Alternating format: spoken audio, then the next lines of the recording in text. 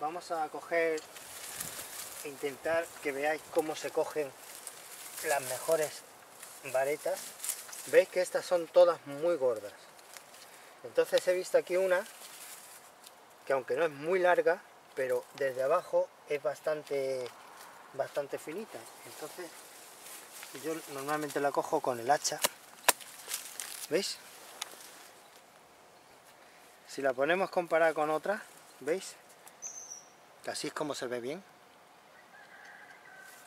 Y luego para pelarlas, en este caso con un guante, mirad qué bien se ha quitado. Bueno, luego esto con la, con la tijera de podar se va cortando los cachitos estos.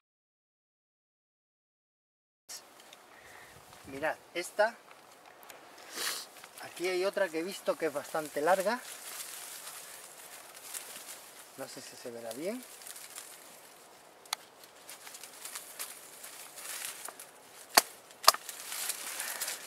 ¿Veis? Mira. Esta es una vareta buena. ¿Vale? La ponemos aquí también para compararla. Estas no son varetas buenas. Estas no son, ninguna de ellas son varetas buenas. Esta sería... Bueno, pues ya más o menos estas, estas son las varetas, como he dicho siempre, lo más larga posible y lo más finas de abajo posible.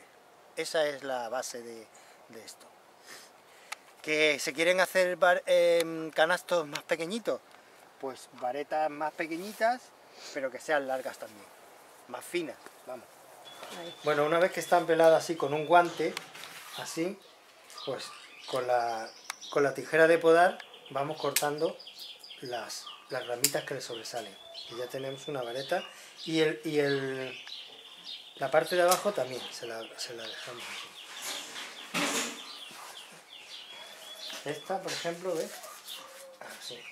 cortamos aquí. Y esto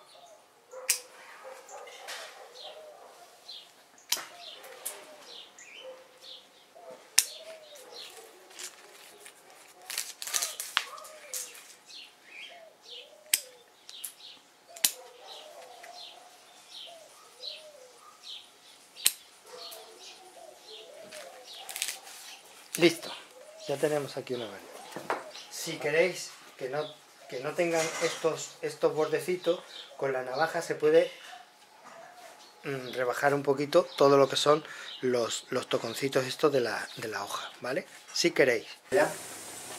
Bueno, vamos a comenzar cogiendo lo que se llaman las varetas guías, que son las, las que nos van a servir para hacer el, el canasto. Y en primer lugar, pues de todas las varetas que hemos cogido, y limpiado, pues vamos a, escoger las que sean más largas, las que sean más largas y las separamos, ¿vale?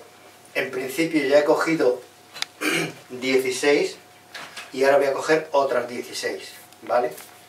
Entonces vamos separándolas. ¿Ves? Esta es una vareta un poquito gorda, pero quizás nos pueda servir.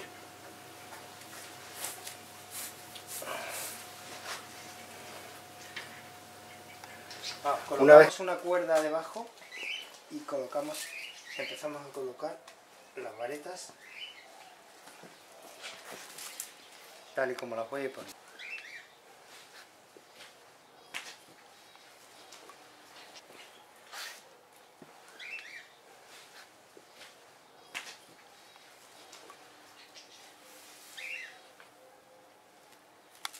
en cruz poniendo en cruz.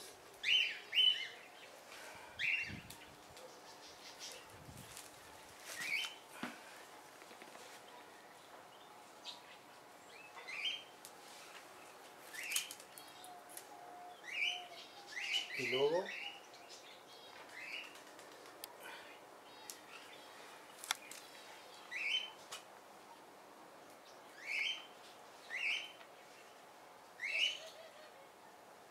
no preocuparse porque sobresalgan bastante, porque luego hay que recogerla.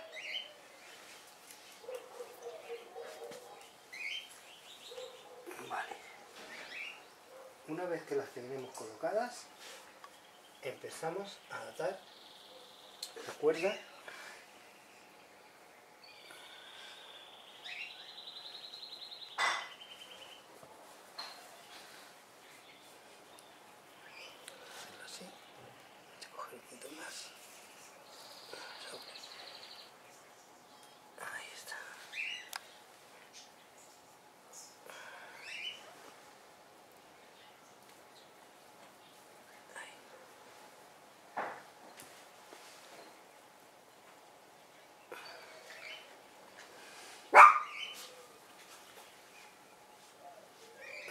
tenemos esa atada ahí. Tenemos este y este. Hay que ir atando de frente en frente. Ahora pasamos este.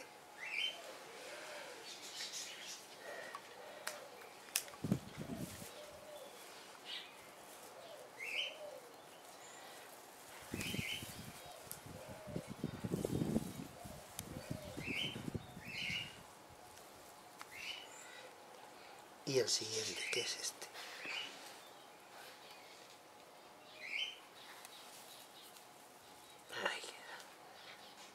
Se ve bien, ¿no? Vale.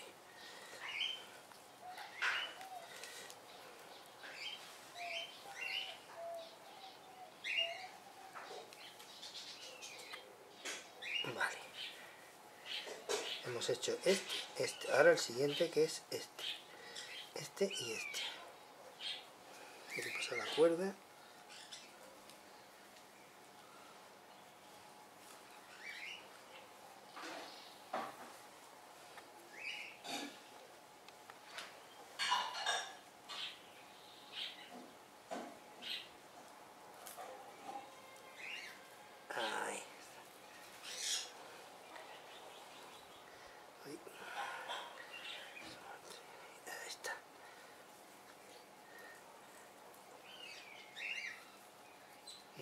otro poquito aquí.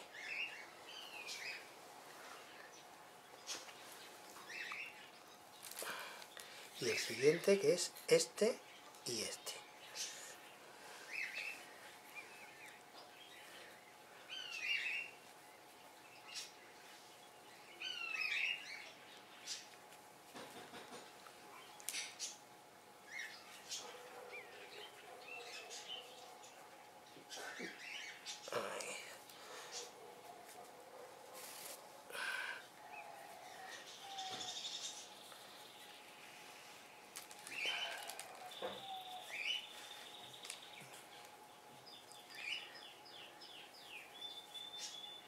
Ahora ya aquí lo atamos bien.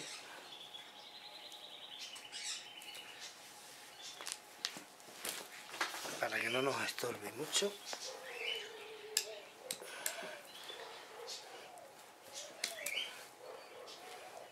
Cortamos esto.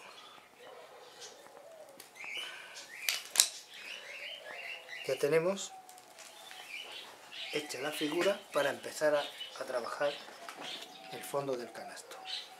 Esto se puede atar mucho mejor haciéndole, estirando más las cuerdas, ¿vale?